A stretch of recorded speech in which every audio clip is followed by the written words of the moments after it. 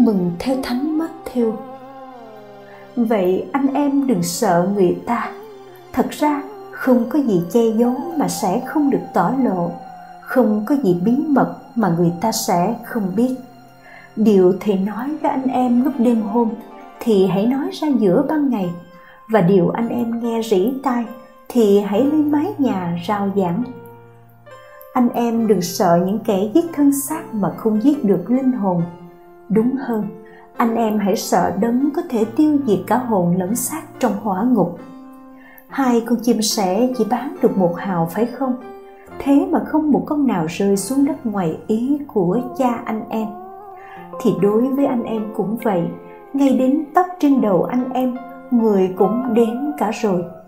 Vậy anh em đừng sợ, anh em còn quý giá hơn muôn vàng chim sẻ phàm ai tuyên bố nhận thầy trước mặt thiên hạ, thì thầy cũng sẽ tuyên bố nhận người ấy trước mặt cha thầy, đấng ngự trên trời. Còn ai chối thầy trước mặt thiên hạ, thì thầy cũng sẽ chối người ấy trước mặt cha thầy, đấng ngự trên trời.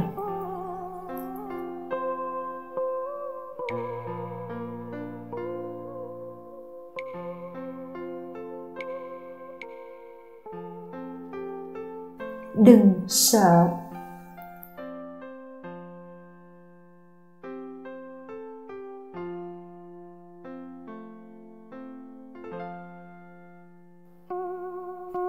Napoleon từng nói, kẻ nào sợ bị khuất phục, kẻ đó sẽ thất bại.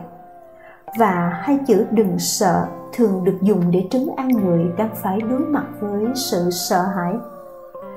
Đức Giêsu đã trấn an các môn đệ trước khi người sai các ông đi thực hiện vai trò ngôn sứ. Anh em đừng sợ. Khi sai các ông đi, Đức Giêsu hiểu rõ nỗi lòng con người các ông. Bởi con người hay có tâm trạng lo sợ khi phải thực hiện một nhiệm vụ mà trước giờ chưa đảm trách và chọn theo Chúa là chọn lấy sứ mạng nguồn sứ. Điều này đòi hỏi các môn đệ phải mạnh dạn không chùn bước trước những thế lực của người phạm. Kẻ giết thân xác mà không giết được linh hồn. Vai trò ngôn sứ cần được thực thi trong mọi hoàn cảnh của cuộc sống. Sứ mạng đó không phải là do ý muốn của cá nhân, nhưng đã được thiên chúa mời gọi, chọn lựa và đào tạo để các môn đệ sẵn sàng cho công việc loan báo lời chúa. Sứ mạng mang tin mừng đến muôn dân vẫn được hội thánh kế thừa cho đến ngày nay. Mỗi tín hữu cùng chia sẻ một sứ mạng chung là trở thành sứ giả của tin mừng. Chúng ta được mời gọi trước hết sống tin mừng để lời chúa thấm nhập vào tâm hồn và biến đổi cuộc đời, mặc cho nỗi sợ hãi và sự khinh chê của người đời.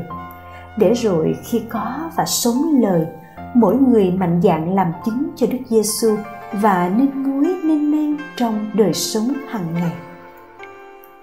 Lạy chúa, xin thắp lên ngọn lửa nhiệt thành trong tâm hồn chúng con, để chúng con can đảm đem lời chúa đến cho mọi người. Amen.